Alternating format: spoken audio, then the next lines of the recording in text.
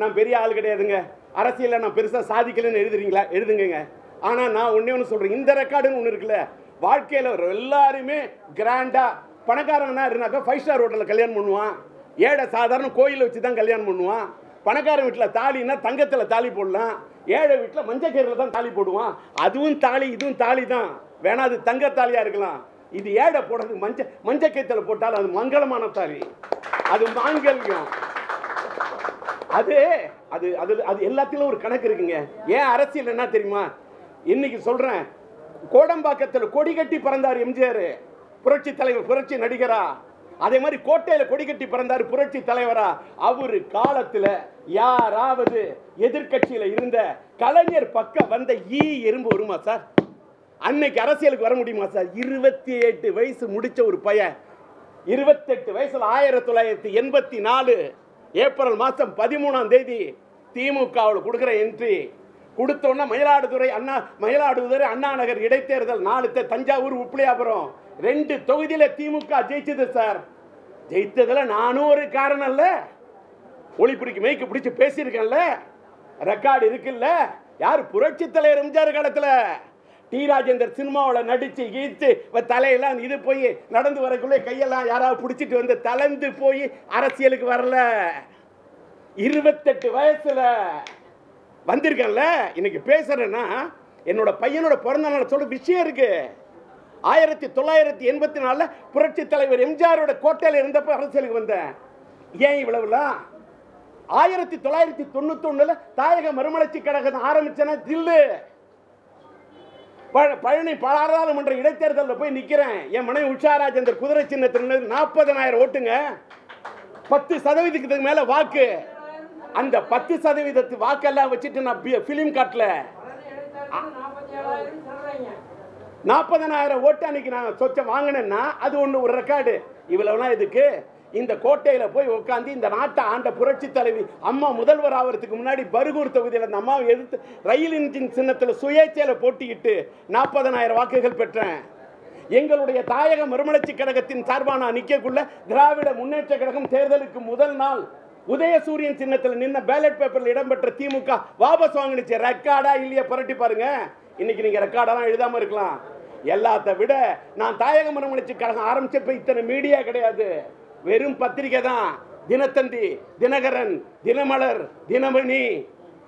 இதை மாதிரி சில பத்திரிகைகளில் வந்தால் தான் இன்னும் சில பத்திரிகைகள் பத்திரிகையில் மட்டும்தான் வரணும். அந்த காலத்தில் கட்சி ஆரம்பித்து நாற்பதனாயிரம் வாக்கு பழனியில் வாங்கி நாடாளுமன்றத்தில் சட்டமன்ற தொகுதியில் பருகுட நாற்பதனாயிரம் வாக்குகள் வாங்கி போறான்னு ஆனால் திராவிட முன்னேற்ற கழகத்தை எதிர்த்து அன்னைக்கு திராவிட முன்னேற்ற கழகத்திலிருந்து மறுமலர்ச்சி திராவிட முன்னேற்ற கழகத்தை தொடங்குறதுக்காக மதிமுகவை தொடங்க வைகோ பிரிஞ்ச உடனே திமுகவை உடைக்கிறாரு.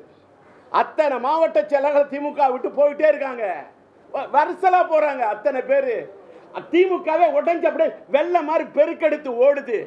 அந்த நேரத்தில் திமுகவுக்கு சோதனைய காலத்தில் கலைஞர் கூப்பிடுறாரு தம்பி ராஜேந்தர் தாயக மறுமலர்ச்சி கழகத்தை வச்சிருக்கீங்க தம்பியே நீ வான்றாரு. போய் எனக்கு துணையாக வான்னாரு போய் வெள்ளை மாதிரி வைக்கோ ஒட்ட சொன்ன வெள்ளை மாதிரி பெருக்கெடுத்து ஓடினப்போ போய் போட்டேன் சார் தடுப்பான. கலைஞருக்காகவும் திமுகவும் போய் நின்ன சார் துணை வைக்கோ மேலே தொடுத்தேன் சார் கண அன்னைக்கு சொன்னாங்க டிஆர் மாதிரி யார் இன. ஆனால் இன்னைக்கு எனக்கு கடவுள் மட்டும்தான் சார் துணை என் கடவுள் துணை என் கூட அந்த கடவுள் அனுப்பிச்ச தூதர்கள் மாதிரி என்னுடைய எஸ்டிஆர் ரசிகர் மன்றத்து தம்பிமார்கள் என் பையன் சிலம்பரத்தனுக்கு இந்த எஸ்டிஆர் மன்றத்தில் இந்த இந்த ஆத்மன் ரசிகர் மன்றத்து தம்பிமார்கள் தோழர்கள் இருக்காங்களே அவர்களை அவர்கள் இன்னைக்கு துணையா இருக்காங்க. அந்த பசங்களுக்கு நான் அந்த பையன்களுக்கு நான் என்னன்னு சொல்றேன். என் பையன் மாதிரியா? தம்பி என்னுடைய ரசிகர் மன்றத்தில் இருந்தவர் தான்யா அவங்கெல்லாம் பெரிய பெரிய போஸ்ட்டுக்கு போயிருக்காங்க. நான் தாயக மறுமலர்ச்சி கழகத்தை போய் இணைச்சேன். அப்படி இணைச்ச என்ன? என்ன? திமுக தான் என் தாய் கழகம் நினைச்சேன். அதனால தாயக மறுமலர்ச்சி கழகத்தை என் தலைவர் குருநாதர் அழைச்சோன்னு போய் நினைச்சேன் தப்பா. அந்த திமுகவில் போய் கொள்கை பரப்பு செயலாளராக ஆனேன். மேட மேடையா பேசினேன். என் பையன் நடிச்சது மாநாடு. நான் திமுக பேசின அத்தனை மாநாடு. யோசிச்சு பாருங்க. திமுக போட்ட அத்தனை பாட்டு சினிமாவில் போட்ட பாட்டுலாம் ஹிட்டு. திமுக போட்ட அத்தனை பாட்டு திமுக கேட்ட அப்படி ஓட்டு. ஆனா அந்த டி ராஜேந்தர் இப்படியெல்லாம் கஷ்டப்பட்டன அந்த டி ராஜேந்தர் திமுகவின் கொள்கை பிரச்சாரர்கள் என்ன தூக்கி மூணு ரூபா உறுப்பினர்கிட்ட புதுப்பிக்கலன்னு என்னை கட்சியை விட்டு நீக்கிறாங்க. அப்ப லட்சிய திமுக ஆரம்பிக்கிறேன். ஆக ஒருத்தரை வேற நடிகர்களோட கம்பேர் பண்ணாதீங்க. நான் எழுத்தாளர் நான் இயக்குனர் திமுகவின் கொள்கை பரப்பு செயலாளர் பூங்கா நகர் தொகுதியின் முன்னாள் சட்டமன்ற உறுப்பினர் எல்லாத்துக்கும் மேல கலைஞர் எனக்காக கொடுத்த தமிழ்நாடு மாநில சிறுசேமி சிறுசேமிப்பு கு- குழுவின் அஹ், துணைத் கலைஞர் தலைவர் நான் துணைத் தலைவராக இருந்தேன். கோட்டையில் இருந்தது எனக்கு எனக்கு ஒரு பதவி. சுடர் வாகனம் அதை ஈழத்தமிழர் பிரச்சனைக்காக நான் ராஜினாமா பண்ணேன் சார். ஒரு கவுன்சிலர் பதவி கூட ராஜினாமா பண்ண அந்த உலகத்தில். ஈழத்தமிழர் பிரச்சனைக்காக ராஜினாமா பண்ணேன். அதுக்கெல்லாம் இந்த நாட்டில் மரியாதை இருக்குமா? இருக்காது. ஆனால் ஈழத்தமிழர் பிரச்சனையை வச்சு நான் சம்பாதிக்கல சார். நான் வெளிநாட்டிலேருந்து யார்ட்டையும் காசு வாங்கல சார். நான் வெளிநாட்டிலேருந்து யார்ட்டையும் பணம் வாங்கல சார் ஆனால் என்னோட ஈழத்தமிழ் மக்களின் மனத்தை வாங்கினது. அவங்களோட ரணத்துக்காக குரல் கொடுத்தேன் சார் அவங்களுக்காக பண்ணேன் சார் எனக்கு உடம்பு சரியில்லாமல் ஹார்ட் அட்டாக் வர்றதுக்கு முன்னாடி கூட ஈழத்தமிழுக்காக பாட்டு பண்ணேன் சார் இது என்னோட வரலாறு சார் இதை எல்லாத்தையும் புட்டு புட்டு சொல்லிட்டேன். என்னால் முடிஞ்ச வரைக்கும் ஏன்ற வரைக்கும் பண்ணுவேன் தானம். இந்த வயசில் எனக்கு வந்திருக்கிறது நிதானம். என் ஆத்மாவுக்கு தேவை சமாதானம். அவ்வளோதான்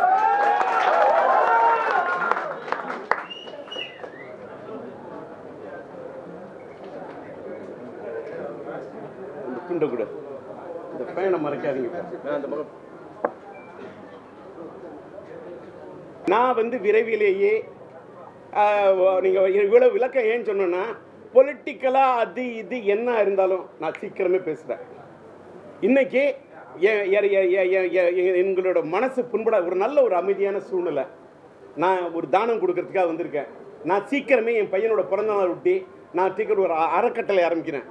சேரிட்டபிள் ட்ரஸ்ட் ஆரம்பித்து அது சார்பாக அரிசி கொடுக்கறதா நன்மை கொடுக்கணும் ஆடை கொடுக்கறதா இருக்கட்டும் மக்களுக்கு மெடிக்கல் கேர் நான் வந்து மெடிக்கல் கேர் மக்களுக்கு ஏற்படுத்தி கொடுக்கணுங்க. அதுக்கு எங்களால் முடிஞ்ச அளவுக்கு நான் வந்து என் பையன்கிட்ட சொன்னேன். நான் எனக்கு சினிமாவில் சம்பாதிச்சேன். என்னால் முடிஞ்ச அளவுக்கு அத்தனை ப நான் சம்பாதிச்சில அத்தனை சதவீதம் தர்மம் பண்ணியிருக்கேன். அந்த தர்மத்தால் தாங்க இன்றைக்கி நான் உட்காந்துருக்கேன் அந்த தர்மத்தால் தாங்க நான் நிற்கிறேன் அதே மாதிரி என் பையனும் வலது கை கொடுக்கறது இடதுக்கு தெரியாமல் அள்ளி அள்ளி கொடுக்குறாரு. நான் கொடுக்குறேன் கொடுக்குறேன்னு சொல்லி கொடுக்கவே இல்லை. யாருக்கும் தெரியாமல் கொடுத்துக்கிட்டு தான் இருக்காரு. ஆனால் ஒரு முறைப்படுத்தி கொடுக்கறதுக்கு ஒரு சீக்கிரமே ஒரு அறக்கட்டளை தொடங்குறேன். அந்த அறக்கட்டளை தொடங்கி அது மூலமாக தானம் செய்கிறது மட்டும்தாங்க என் லட்சியம். சீக்கிரமே நான் அதோட இதை சொல்லுவேன் நம்ம கேட்க வந்தீங்க இப்போ கேளுங்க. ஆ. என்ன அதான் சொல்றேனே.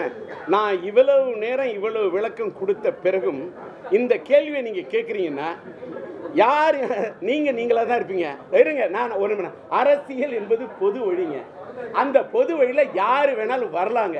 யார் வேணாலும் கட்சி தொடங்கலாங்க. அவர் வரட்டுங்க வாழ்த்துக்கள்ங்க. இதை மீறி நான் பண்ண அவரை பற்றி இந்த கேள்விக்கு இப்போ நான் பண்ண விரும்பல விமர்சனம்.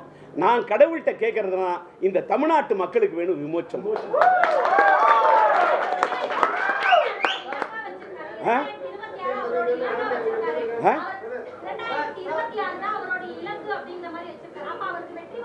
நான் இருக்கக்கூடிய இடம் ஆயிரம் விளக்கு. நான் தானத்தை பண்ணி கொடுத்து கொடுத்துட்டேன் அத்தனை விளக்கம்.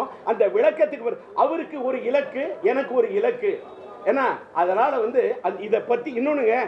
அவருக்கு நான் ரெண்டாயிரம் நான் ஒன்று போன தேர்தலில் நீங்க கேட்டதுனால சொல்றேன். போன சட்டமன்ற தேர்தல்லையே மறைந்து விட்ட அதாவது முன்னாள் முதலமைச்சர் நம்முடைய கலைஞர் அவர்கள் கலைஞர் அவர்களுக்கு உடைய திராவிட முன்னேற்ற கழகத்தோட ஒரு இதுக்காக ஒன்று சொல்றேன். கலைஞர் திமுகவுக்கு திரும்பவும் என்னை கூப்பிட்டு சேர்க்கணும்னு கூப்பிட்டு சேர்க்க ட்ரை பண்ணார்ல. யாரையாவது கூப்பிட்டுருக்காரா? புரட்சி தலைவர் எம்ஜிஆரே திமுக விட்டு போன பிறகு திரும்ப கூப்பிட்டுருக்காரா? ஆனால் என்னை கலைஞர் கூப்பிட்டார்ல. என் பிரச்சாரத்துக்குன்னு ஒரு வேல்யூ இருக்குன்னு கலைஞர் நினைச்சார். சார் எல்லாருக்கும் எல்லாருடைய வேல்யூ தெரியாதுங்க. எல்லாருக்கும் எல்லாரோட வேலையும் தெரியாது. இப்ப சிலம்பரசனுடைய வேல்யூ உலகநாயகன் கமலுக்கு ஒரு சின்ன சின்ன ஒரு குழந்தை நட்சத்திரமா வந்ததுனால தானே இன்னொரு குழந்தை நட்சத்திரமா உருவான சிலம்பரசனோட வேல்யூ தெரியுது. வாங்க என் வேல்யூ கலைஞருக்கு தெரிஞ்சதுங்க. என் வேல்யூ மறைந்து விட்ட அந்த புரட்சி தலைவர் இந்த அம்மாவுக்கு தெரிஞ்சதுங்க. முன்னாள் முதலமைச்சராக இருந்த ஓபிஎஸ் கடந்த சட்டமன்ற தேர்தலுக்கு முன்னாடி என்னை கூப்பிட்டாரு. தேர்தல் களத்துக்கு வாங்கன்னாரு. கூட்டணிக்கு வாங்கன்னாரு. ஒரு பூங்கத்து கொடுத்தேன். அதிமுகவோட ரெட்டை இலை சின்னத்தில் நிற்க நிக்க சொன்னாங்க. ஒரே ஒரு டயலாக் சொன்னேன். திராவிட முன்னேற்ற கழகத்தின் கொள்கை பரப்பு செயலாளர் இருந்தேன்னா நான் எப்படிங்க ஒரு ரெட்டாலை சின்னத்தில் நிற்க முடியும்? நிற்க நான் விரும்பலன்னு அன்னைக்கு சொன்னேன். என்னுடைய லட்சியம் கொள்கைக்காக வாங்கணும் எனக்கு ஒரு இலக்கு இருக்குல்ல. ஆனால் அந்த தேர்தலுக்கு போல மூணு சதவீத வாக்கு வித்தியாசத்தில் தான் திராவிட முன்னேற்ற கழகம் வெற்றி பெற்றிருக்கு.